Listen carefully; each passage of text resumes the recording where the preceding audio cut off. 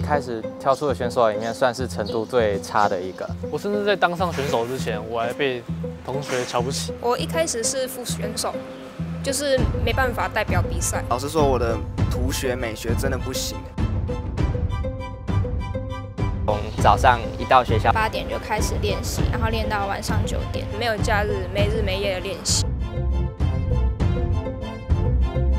有速度、精确又完整。我总是想要破学长的记录。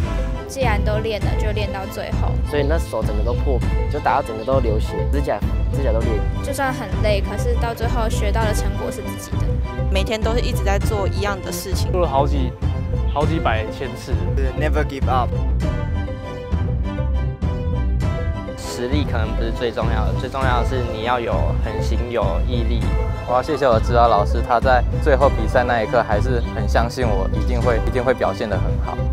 坚持住就我的，就是要贯彻始终了！我让当初瞧不起我的人瞧得起。